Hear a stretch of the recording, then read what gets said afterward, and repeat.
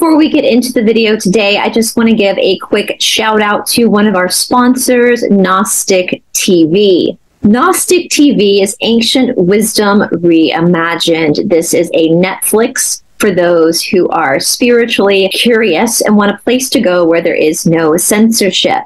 I personally am doing a whole series on Gnostic TV called The Esoteric Explorer, where I am providing exclusive content to Gnostic. Gnostic TV is a host to all sorts of different content creators, many of whom are your old favorites. If you would like to check out Gnostic TV, there is a link down in the description box below. According to historyofdolls.com, a doll is a figure of a human being or sometimes of an animal, used often as a child's toy or in magic and religious rituals. Now, we have covered a few haunted dolls on this channel before, but today we're going to look at some more dolls that might not necessarily be haunted, but in my opinion, might have more of a sinister background. But before we go any further, you know what to do. Please hit that subscribe button and give us a like. As always, such a big thank you to all of our patrons and our producers here on Esoteric Atlanta. Without your funding and without your support, this channel would not be possible. If you would like to help support the work here on Esoteric Atlanta, there is a link down in the description box below. Welcome to Esoteric Atlanta. My name is Brice, and today we're going to be talking about witchcraft and dolls.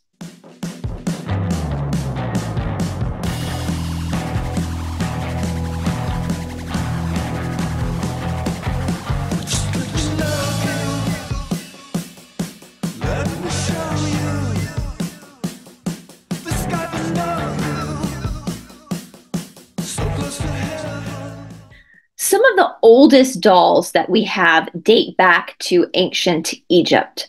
And these are called wooden paddle dolls. Now, I don't think that's what the ancient Egyptians called them. I'm pretty sure that's a more modern term because they're literally flat dolls made out of wood. Now, these could have been dolls used for toys. However, most archaeologists believe that these dolls were used by adults for ritualistic purposes, including fertility and also as perhaps a companion for a deceased loved one. We know that the ancient Egyptians had very, very unique rituals when it came to the passing of people. And so again, many many archaeologists believe that some of these dolls, these original dolls were placed in the graves of loved ones to assist them in their journey to the underworld. Even though dolls are technically some of the oldest toys found in the world, it does seem in some of my research that, in most purposes, historically speaking, dolls were not viewed as toys, but again, rather as a tool for magic or rituals. Historically, we see the use of dolls throughout the world, including Africa and Asia. Even the Native Americans had dolls made out of corn husk and dried apples. Now, the Native Americans, for a lot of the tribes, the, the Native American nations, these dolls did not have faces on them, which also reminds me of our modern day Amish dolls. If you're interested in more of the history of dolls in different cultures, I'm going to link the website historyofdolls.com down in the description box under show notes. Now, most of us probably when we think of dolls, we think of more porcelain dolls. I know growing up, my mother liked to get us porcelain dolls, as well as Madame Alexander dolls that my sister and I were not allowed to play with. They were more to be like decoration in our bedrooms. Nonetheless, porcelain dolls originated in Germany in 1860, and this was during the Victorian era. What I find interesting about the Victorian era is that when you say the Victorian era, most people know exactly what era you're talking about, even though this was based off of the reign of Queen Victoria in England. For some reason, the Victorian era, the name kind of stuck globally. Even countries like my own and perhaps your country watching are, aren't connected to the monarchy of the English family. We still understand the Victorian era. The Victorian era again spans the reign of Queen Victoria. As most of you know, she is one of my five times great grandmothers. Along with a lot of people watching right now, she literally has thousands of descendants in the royal family and outside of the royal family, like myself. But nonetheless, Queen Victoria's reign lasted from the 20th of June, 1837 to the 22nd of January, 1901. Now, in my opinion, if I got to travel back in time, the Victorian era is definitely a fascinating one that I would consider traveling back to. We have these massive opposing forces happening in the Victorian era. We're seeing extreme conservatism come around. We're also seeing spiritualism come around. And we've also got a bunch of people who have a very macabre look at death the Victorians, besides like the ancient Egyptians, the Victorians or the people of the Victorian era, especially in the Western world, took a very, a more like ritualistic approach to death, very different from generations prior they took things like death photos, which we all know are super creepy. They also would do things like if your grandmama passed away, you would like cut some of her hair off and make like mourning jewelry. So you'd make like a bracelet with her hair. We also see the the coming of the um, mourning attire, which I did not know until doing this research on the Victorian era that mourning attire was created at this time where people would dress in black for a certain amount of time after a loved one passed. You know, we also got this saying, leaving feet first. That comes from the Victorian era as well. If somebody passed away in their home when their when their body was removed they would always have the corpse exit the house feet first in order to bring not bring bad luck onto the home one of the creepiest creepiest things about the victorian error and their their view on death is something called a mourning doll. Now remember what I said, throughout history it does seem that even though dolls were the oldest toy ever found, it does however seem that they most likely in most situations were used by adults for some other purpose but play. In the Victorian era, as we were coming to the end of the 19th century, we're taking more of a modern approach to children. Funnily enough, this is also the time period where, if you are a conspiracy theorist, you believe that incubator babies were coming into the scene. That's why at this at this time in history, we had an influx of orphanages and workhouses with children. I covered this a, a, while ago, almost two years ago. It's one of my most viewed videos with the child strike of 1899. I will tag that down below if you missed that, where all of a sudden children are just appearing everywhere. Now, the mainstream narrative will tell you that because of the conservativeness of the Victorian era, when women would get pregnant out of wedlock, often they would take their children, their illegitimate children, to an orphanage or to a workhouse. This allegedly was to protect the child from the label of illegitimacy, so the child could be perhaps adopted into a family. And it would also protect the chastity and the purity and the integrity of the woman so that she could appear to be pure, hoping to, you know, score a husband.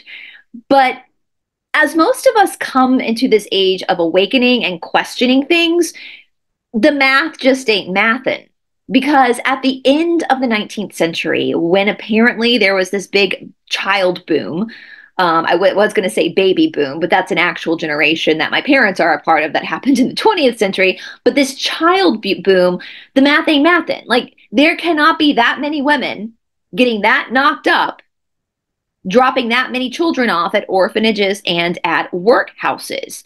In big cities like New York or London, children literally ran the streets. Again, referring back to the child strike of 1899 in New York City, where the children literally shut the city down. That was how many of them were parentless. Like we're talking eight, nine, ten years old, parentless, working in workhouses. They were newsies, they were selling newspapers so a lot of people are coming to this realization that there's another story here, that these children weren't just orphans or abandoned children because their mothers were not married to their fathers. No, there's something else going on here. But again, that's a story for a different day.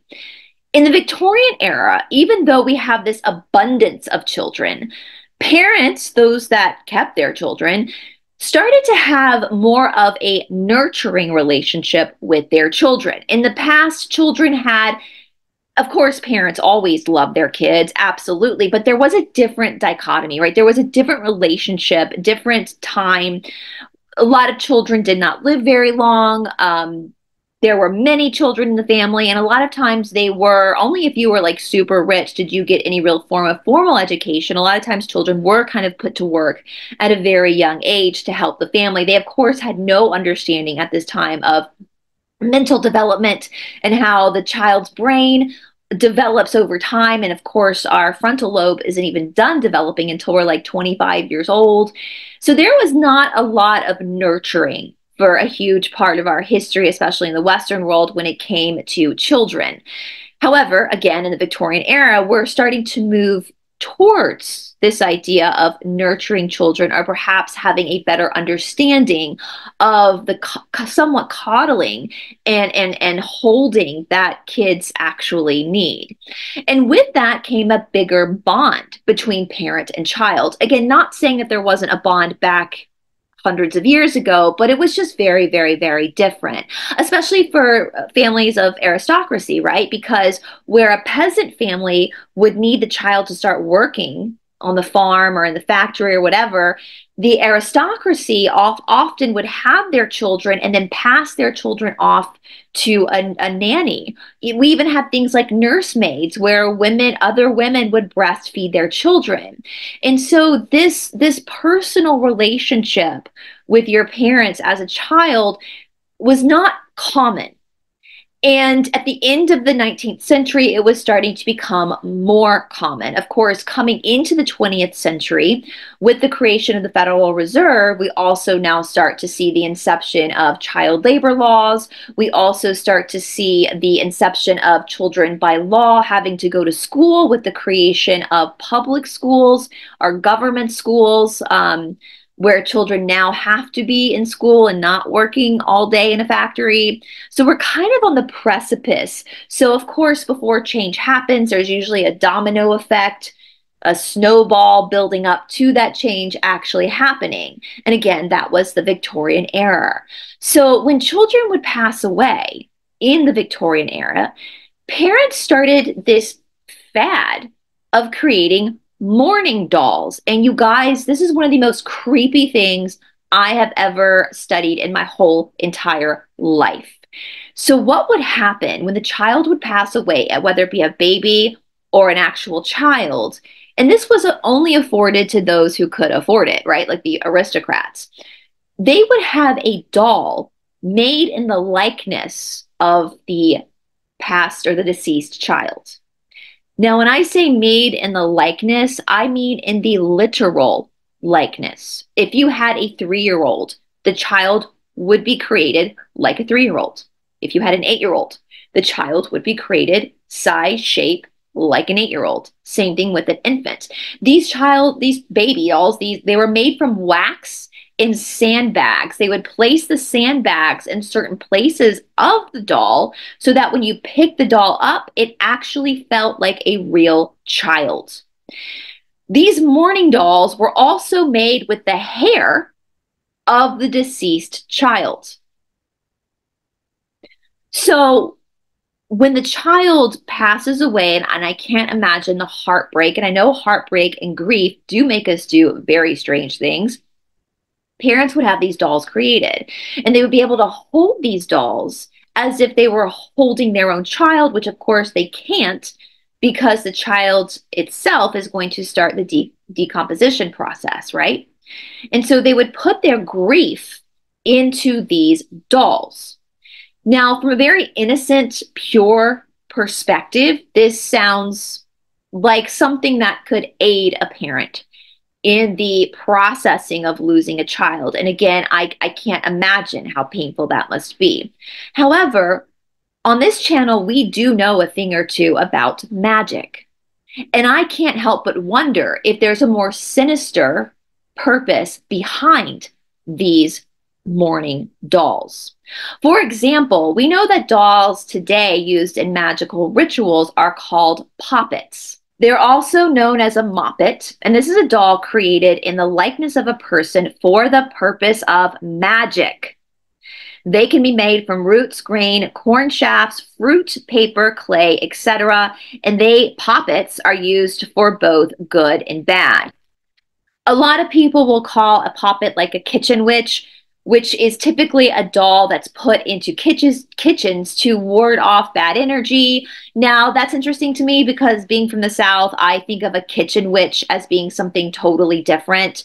Um, a kitchen witch in my local language is more of a woman who knows a little bit about magic and maybe practices a little bit of magic, maybe puts some salt here and there, or puts you pick kind of like a, a very amateur witch and that's a lot of us here in the South, maybe bury some amulets in the backyard. That is my definition of a kitchen witch, meaning it's not a, a full, she's not a full on witch or practitioner. She just does some things here and there.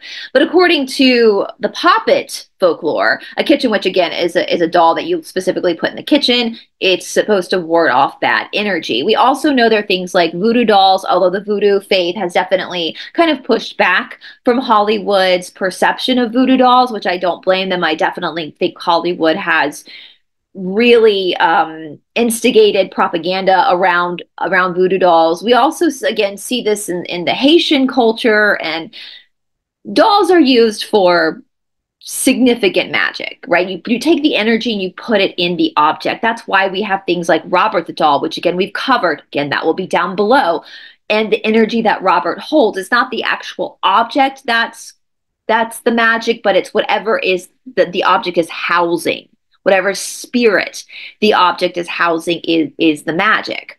We also know that when it comes to spirits, we have many different types of spirits. The most common being ghost. A ghost is a disembodied spirit. It's a it's an earthbound spirit that used to be in a human body like you and me and then once the body was done and it was time to move on the energy of that person for whatever reason decided to stay and stick around and not move into the light. We also have things like demons and angels, which are archons or whatever you want to call them, entities of a higher density that are either polarized positive or negative, but were never human. We also have something called a poltergeist, and that is more of where my mind is going and my critical thinking skills when it comes to these mourning dolls and perhaps some of the dolls that are used for more nefarious purposes. A poltergeist, unlike a ghost or a demon, is an entity or a spirit that's created specifically by the emotion of a human. Poltergeist then become entities themselves, independent entities, but you are their creation. This is why we see a lot of poltergeist activities with young teenage girls because their emotions are through the roof. And so that energy has to go somewhere. And so when you've got a, a girl, especially a girl that might be under ABUSC, in the house, SA, something like that, that energy is going to create its own entity outside of the girl. Now, obviously, in these situations, most of the time, when someone creates a poltergeist, they don't mean to. It's not something they're intentionally doing. It's just the energy becomes so great that it almost becomes kinetic and has to actually leave the body. Now, when this happens in most cases, when a poltergeist is created, especially in like houses, the poltergeist won't necessarily follow the family. It's not it's not at the mercy of the person who created it, right? It will stay in the house and it usually will mess with everybody in the house including the person who created it. So, my perspective on mourning dolls and some other magic dolls is that what is happening is the grief, the overwhelming grief of the parents losing their children is being pushed into this object, creating almost a poltergeist. And again, poltergeist, a lot of times people see them as evil. I don't really believe they're actually evil. I just think they're chaotic because they're they live they're they they're created from chaotic energy. So therefore they themselves create chaos. Now here's where it gets even creepier. So at the wake or the funerals of these children the parents would hold the mourning doll. And not only would the parents the grieving parents hold the mourning doll but they would pass the mourning doll around to everybody else in attendance Funerals are sad anyway. It doesn't matter if you were close to the person or you just know the person. They're always emotional when you're actually grieving the passing of a human being. And, and of course, for the people that were close to the person, to the deceased, the, the realization, the shock, the knowledge that you're never going to see this person again in this life is sometimes a really heavy energy to to bear my ear is itching. So maybe that means, doesn't it mean when your ear itches that you're saying something true? So maybe I'm onto something. We'll see. We'll see if this this video gets shadow banned or not.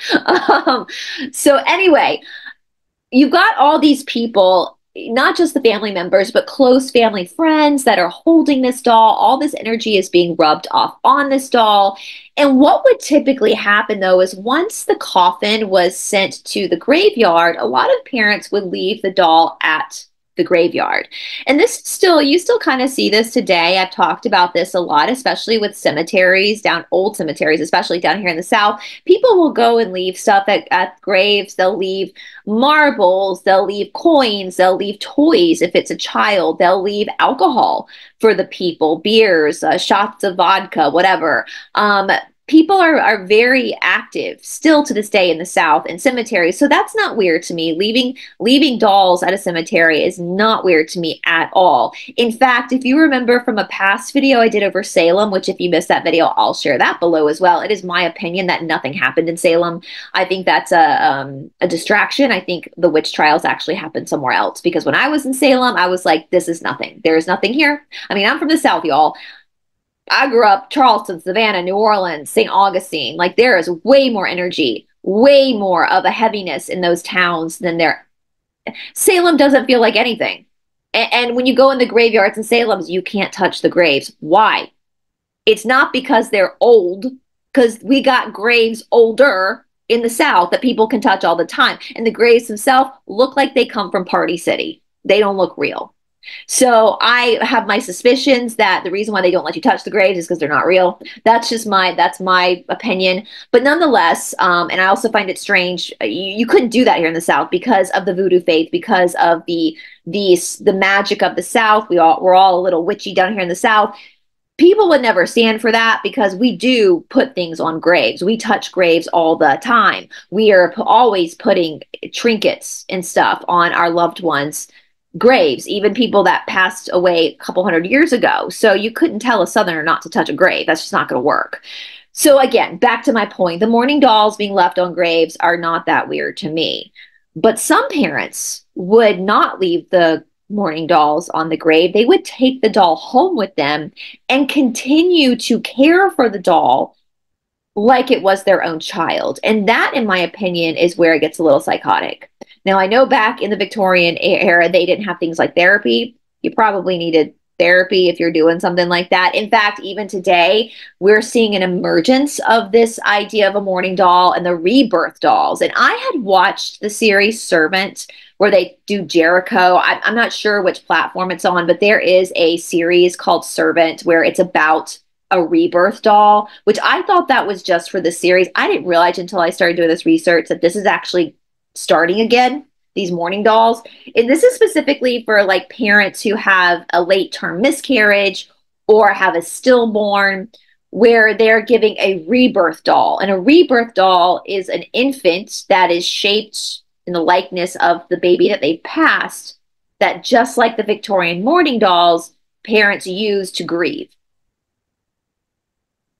And if you want to talk about magic and dolls, I would suggest watching the show Servant because I think that they tell us a lot of truth in Hollywood, obviously. And this is weird to me because energy is be- being put into this doll. Okay. Energy is being put into this doll dolls are heavily used in witchcraft. Why? Now, again, some dolls are used positively in witchcraft. Just because it's witchcraft doesn't mean it's bad. I mean, the word witch just means a wise woman, right?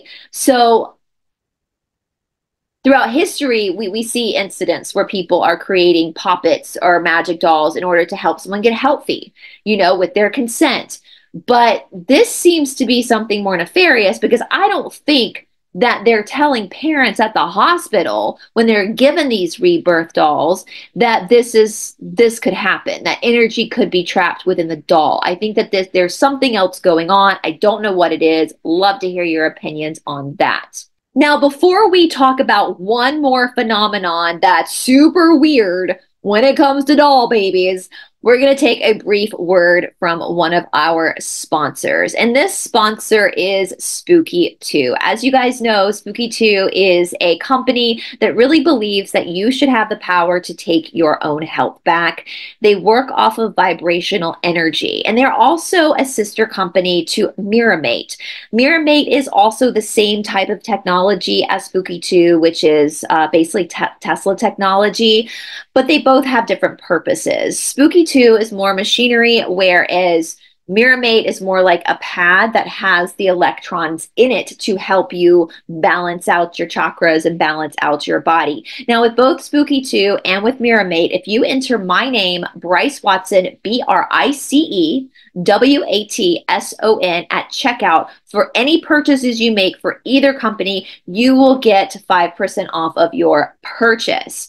Now, again, if you are interested in these products and in taking your own health back and rebalancing your chakras and your vibrational body, but you're really confused and you're not that great at technology, believe me, I'm not that great at technology either. Both Spooky 2 and MiraMate have incredible customer service, especially Brad. Brad's been on my channel multiple times talking about Tesla technology and this this equipment. So don't be afraid even if you feel like this stuff is too over your head but you really want to try it, don't be afraid of it because Brad or anybody else at both Mirror MiraMate and Spooky 2 will sit down with you, will talk you through it, will help you figure out which product is going to be best for you. So, if that's something you're interested all those links, both those websites are down in the description box below. And before we get on into the last doll we're going to talk about today, let's hear a brief commercial from Spooky 2. Hi, John, Echo, and the Spooky 2 team. This is Kanika here, and I'm here to share not just my and my partner's Spooky 2 journey. Spooky 2 has been superbly special for my partner and I. I'm actually sitting in the scalar field. In our personal experiences, my partner and I have uh, literally gone off all our, our vitamin and multivitamin multivitamin and mineral supplements. We hardly take them. We to take them to support and supplement our well-being but I've been using the daily wellness protocol and my hair has just exploded in its growth. The skin's gotten uh, beautiful. The DH experimental frequencies, I've been experimenting with a lot of them. We have such good strength in our body. We don't fall ill to an extent that my partner has hay fever. Peter, he has hay fever, but this time I've started using the immune super booster and oh my god it is magic. Uh, we recently this year purchased the remotes as well so we use our dna clipping and we put our clippings in it and uh, it's just been so beautiful and profound and i have always been so i pray daily i meditate daily and i've been sitting in the scalar field and meditating and praying and my psychic abilities, my connection to the divine, if I just want to put it in a nutshell, is just increasingly becoming so potent. I've been using the 12 strand DNA activation as well in the DH experimental frequencies just to see how it goes. And the, the effects are so magnificent in our, on our physical bodies and our like um, energetic field. I'm an energy healer. I take clients through um, quantum healing sessions while sitting in the field so that they can also I can be a clearer conduit and send these energies as well by pure quantum entanglement, right? And if people were to not believe this, all this physical proof shows what a gem of a product this is. I can't like recommend this more to anybody like so yes much love and gratitude. Thank you for listening and uh, i could share so much more but i'd like to wrap this up now. Thank you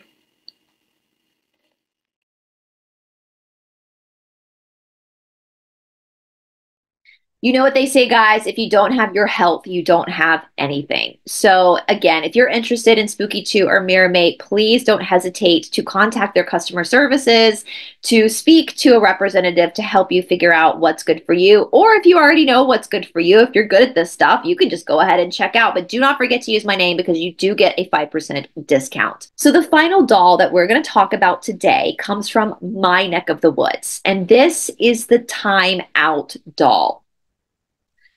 Now, I vaguely remember timeout dolls from my childhood. They were started in the 90s, and you could find them in like flea markets and like car shows. Nobody knows who the original creator of the timeout dolls was, but we do know it started in Appalachia. So, timeout dolls are dolls that are about, you know, the size of like a four or five year old who don't have faces, their hands cover their faces, and they're positioned against a wall or in a corner like they're in timeout.